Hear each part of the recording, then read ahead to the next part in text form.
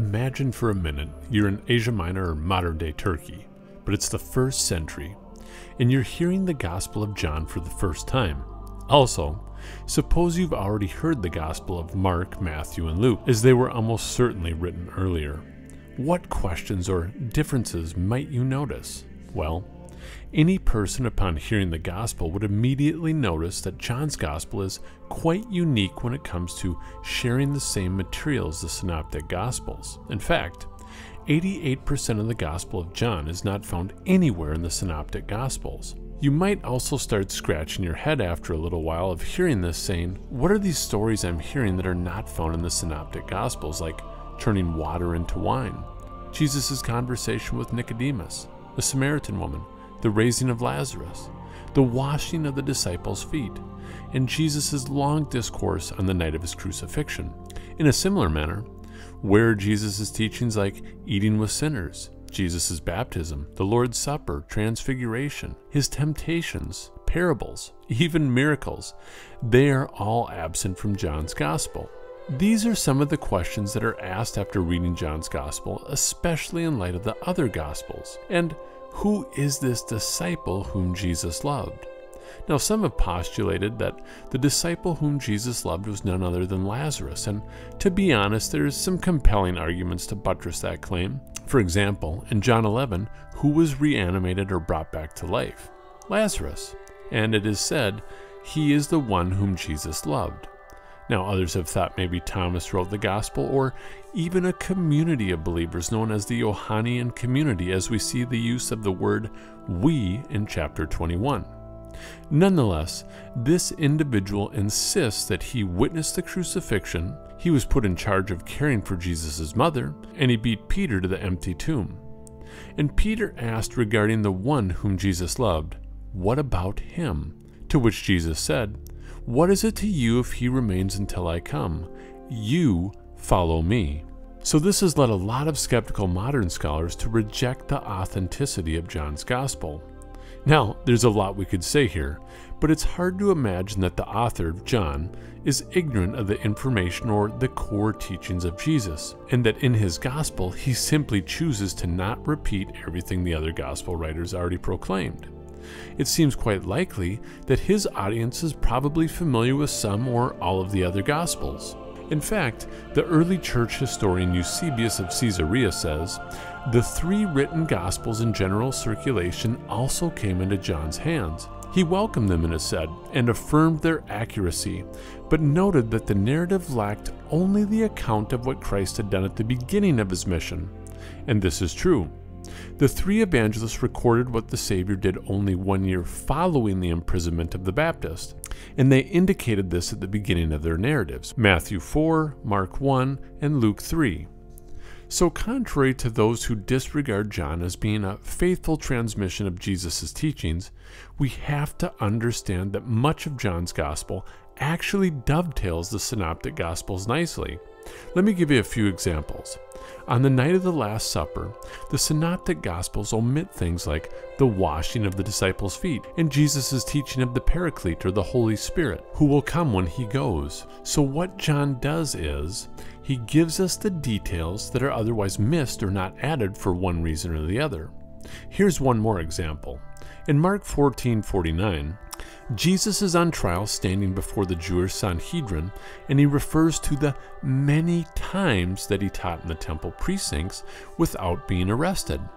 But when you read the Synoptic Gospels, it appears that Jesus was only there once. Well, John gives us those details. Quick question How long was Jesus' ministry? If you read Matthew, Mark, and Luke, it appears to only be a year long. John, however, tells us implicitly that Jesus' ministry was three years long because of the three Passover celebrations that Jesus participated in. Now, real quickly, just to bounce back to the authorship of the Gospel. I will tell you of the four Gospels, this one is likely the most difficult as far as pinning down an author. However, the person is intimately acquainted with all perspectives of topography Jacob's Well, Pool of Bethesda, and the Pool of Siloam, festivals, and traditions. Jesus' teaching and many details that are referenced in the Synoptic Gospels. Now, as far as a date, I don't know. Something very interesting that demonstrates this was likely written later is a strong polemic against the Jews. When you read John's Gospel, he always says, the Jews. Also, John is very adamant that Jesus is the fulfillment of Jewish festivals, suggesting a later date sometime after the temple was destroyed.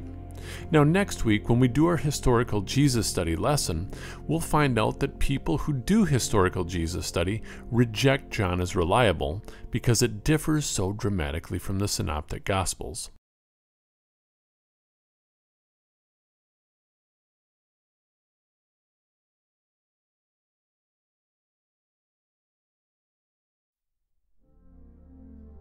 In this slide, I want to take just a moment or two to discuss an overall outline for looking at the Gospel of John. On the far left side of the screen, you see the prologue, chapter 1, verses 1 through 18. This is where Jesus is recognized as the Logos, or the Word.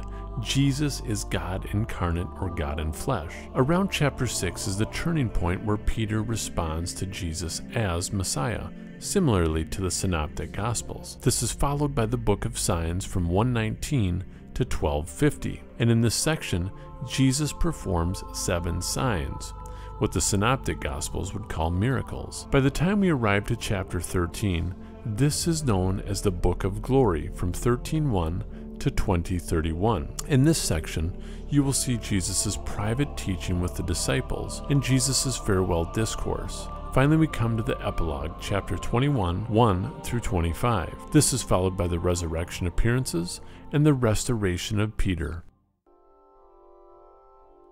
In the beginning was the Word, and the Word was with God, and the Word was God. He was with God in the beginning. Through him all things were made. Without him nothing was made that has been made. In him was life, and that life was the light of all mankind. The light shines in darkness, and the darkness has not overcome it. There was a man sent from God whose name was John. He came as a witness to testify concerning that light, so that through him all might believe. He himself was not the light, he came only as a witness to the light. The true light that gives light to everyone was coming into the world. He was in the world, and though the world was made through him, the world did not recognize him. He came to that which was his own, but his own did not receive him. Yet to all who did receive him, to those who believed in his name, he gave the right to become children of God. Children born not of natural descent, nor of human decision or a husband's will, but born of God. The Word became flesh and made his dwelling among us. We have seen his glory, the glory of the one and only Son, who came from the Father full of grace and truth. John testified concerning him. He cried out, saying, This is the one I spoke about when I said, He who comes after me has surpassed me, because he was before me. Out of his fullness we have all received grace in place of grace already given. For the law was given through Moses, grace and truth came through Jesus Christ. No one has ever seen God but the one and only Son who is himself God and is in closest relationship with the Father, has made him known. The initial statements in verses 1 through 4 made about Jesus and his identity are the most profound in the New Testament. John presents Jesus as the Word or the pre existent creator of the cosmos, distinct from the Father, yet fully divine. Now, John's use of the word, word, does have significance in Greek philosophical thought but it is also anchored in the Old Testament. The psalmist says, By the word of the Lord were the heavens made, Psalm 33 6. In Greek philosophy, the word word is what brought the cosmos in order. And a Jewish philosopher and contemporary of Jesus, Philo of Alexandria, said, The Word was a messenger of God and a mediator between God and man. Quick question. In verse 1, where else do we read in the beginning? Genesis 1. So in the prologue, the author immediately begins with this allusion to Genesis 1, and he attaches Jesus as the creator. The writer goes on to say, The Word was with God, and the Word was God. So there is a distinction between the Father and Son, but both are fully divine. Now, I want to talk about John's unique literary style. You can see I've used a lot of yellow and highlights here. So in the next slide, let's briefly discuss that.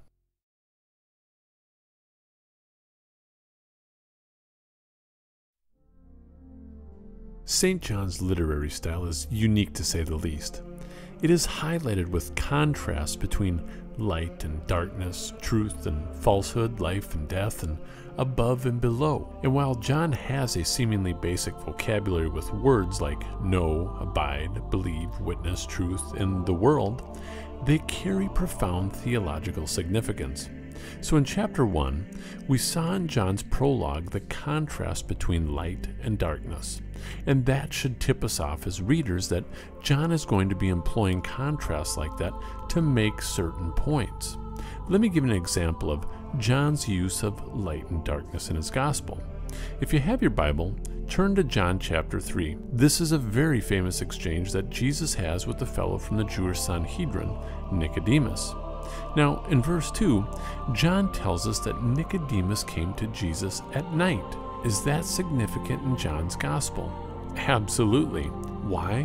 Because Nicodemus is placed against the light and darkness theme of John. Because he's not in the light as of yet. Nicodemus still does not understand the truth. Now, how do you know I'm not just making this up? Maybe it really was dark and I'm just using conjecture. And maybe Nicodemus was afraid. Well, we know that John is using the light darkness contrast because that is the theme in John's gospel and in all of his writings. Also, Nicodemus knows that Jesus is a teacher from God, but he's just not sure about who Jesus is or his identity, so he's still in the dark. When Paul escapes the city walls in Damascus at night, was that incidental or intentional to the message of Acts? It's incidental because there's nothing in Acts to make me believe otherwise. Rather, St. Paul was simply making use of the cover of night.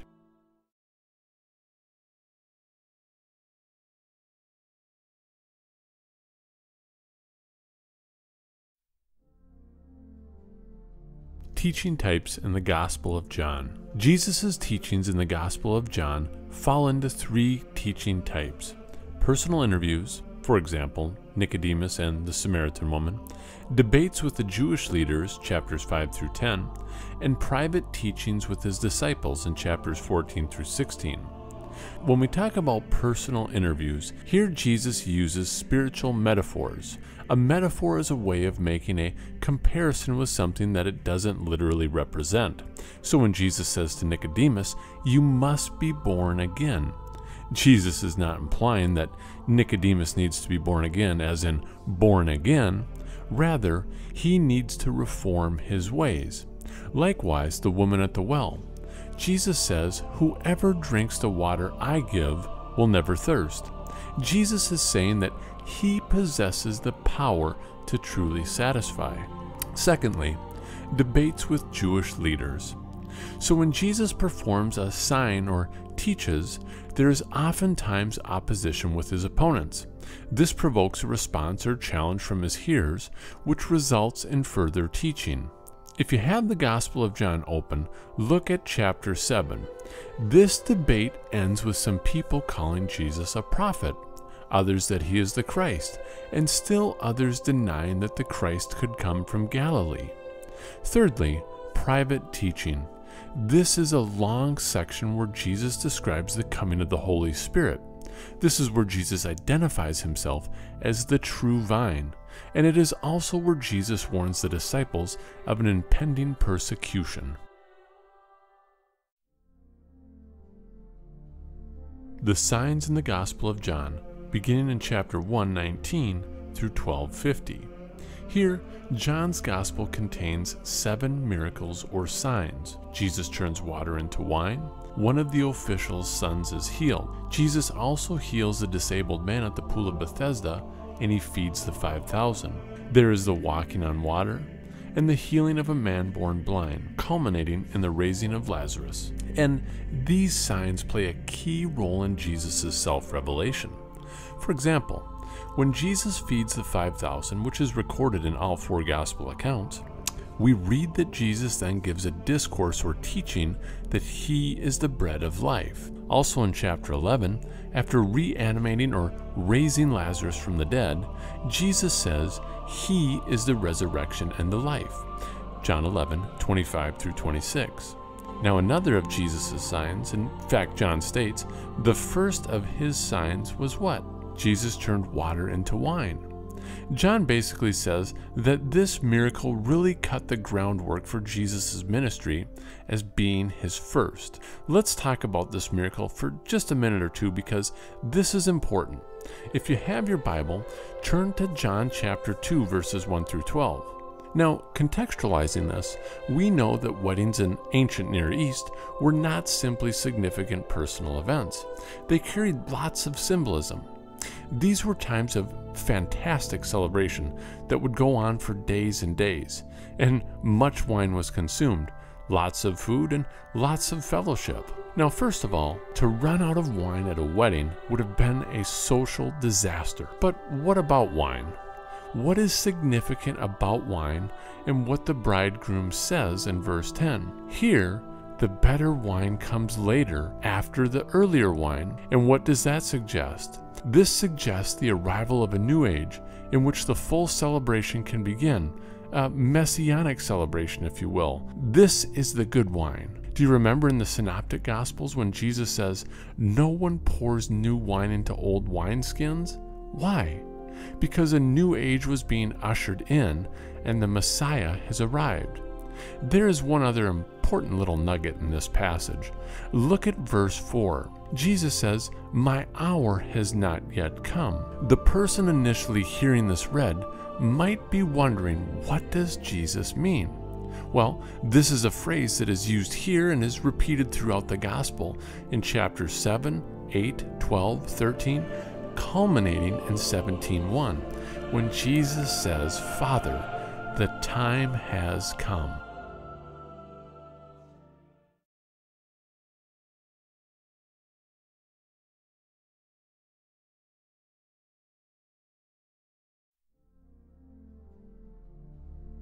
In John's Gospel, Jesus' identity is on center stage.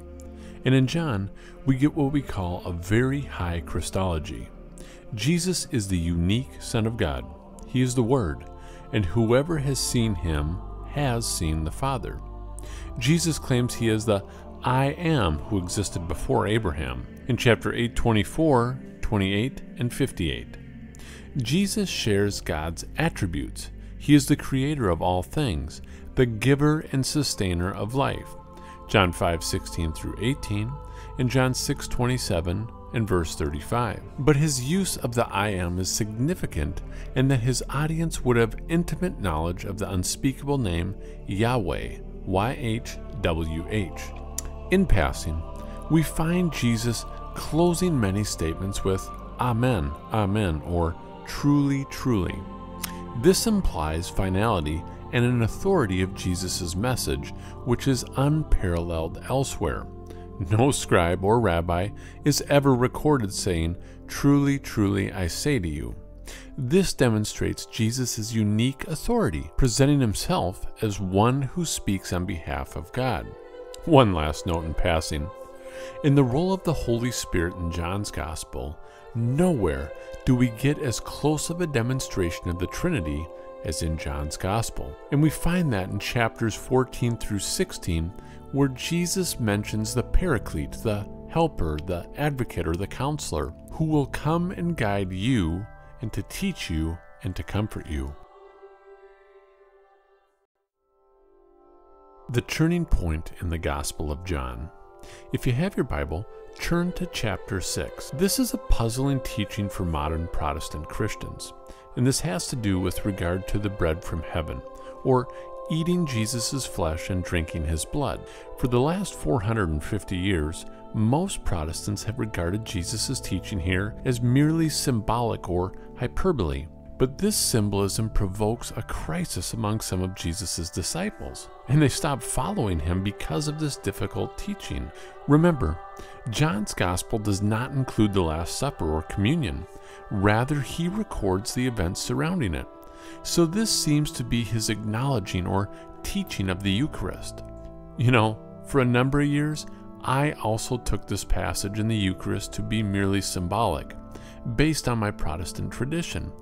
But I later discovered that for over 1500 years of church history, the church has unanimously understood the Eucharist to be the literal body and blood of Jesus.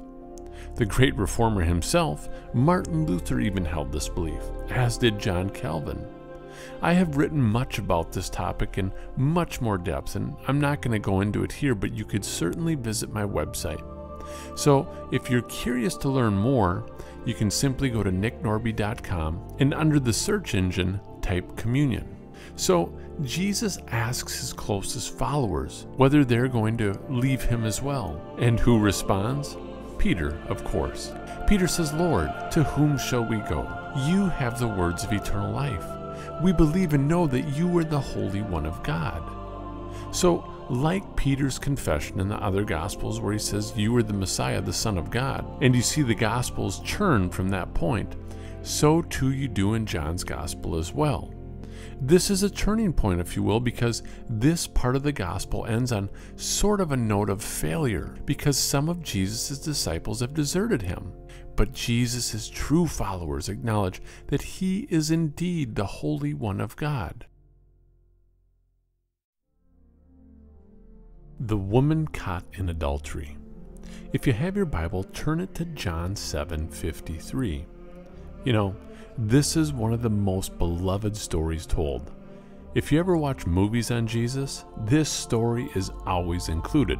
Even if you watch Mel Gibson's movie The Passion of the Christ, which only deals with Jesus' final hours, it contains this story as sort of a flashback moment, so even Mel Gibson couldn't resist adding this. Now, the storyline of this narrative is great. It takes place on the temple precincts the Pharisees are present, and they approach Jesus with a woman who is caught in adultery. And they publicly challenge Jesus, saying that the law of Moses states that the adulteress is to be stoned, and they want to get Jesus' opinion. Should we stone her or show mercy? Of course, it's a trap. Because if Jesus says let her go, he's violating the Mosaic law. And if he says stone her, he is in danger of going against his own teaching of forgiveness and mercy. So Jesus begins to write in the sand. And he says, Let the one who is without sin cast the first stone. Naturally, one by one they leave. And the woman looks up at Jesus, and Jesus says, Woman, where are they? Is there no one who condemns you? Neither do I. Go and sin no more. What an awesome story. The problem is, it's not in John's original gospel. This does not mean that the story isn't true. In fact, it probably was a true story.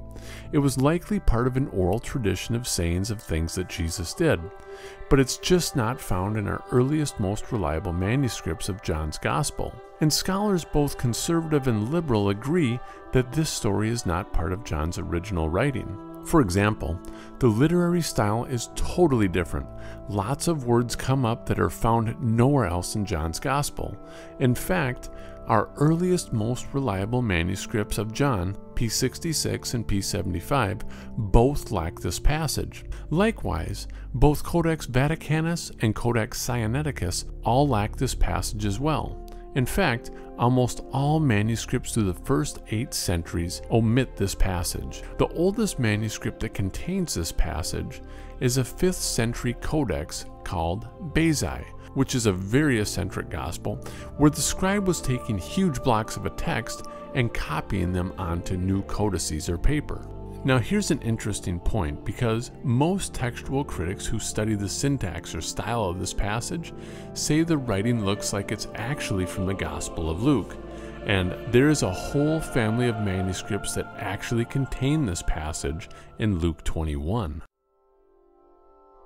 The second ending. This is the disciple who testifies to these things and who wrote them down. We know that his testimony is true. Jesus did many other things as well. If every one of them were written down, I suppose that even the whole world would not have room for the books that would be written. Some scholars suggest that John's Gospel ends at 2031. Jesus performed many other signs in the presence of his disciples, which are not recorded in this book. But these are written that you may believe that Jesus is the Messiah, the Son of God, and that by believing you may have life in his name. If so, where does all the extra material come from? Well, some people have suggested there was a later insertion by the Johannine community with the we, but I'm a little hesitant to buy that idea. As Andreas Kostenberger, an expert in the Gospel of John, has pointed out, a closer look at chapters 20 and 21 suggests that they do cohere quite closely. For example, in chapter 21, John says, This was now the third time Jesus appeared to them, which presupposes two previous resurrection appearances recounted in chapter 20. Also, chapter 21 provides a climax as Peter gets restored, and the disciple whom Jesus loved was there as a witness. And finally, all early manuscripts contain chapter 21. It seems like it corresponds quite well.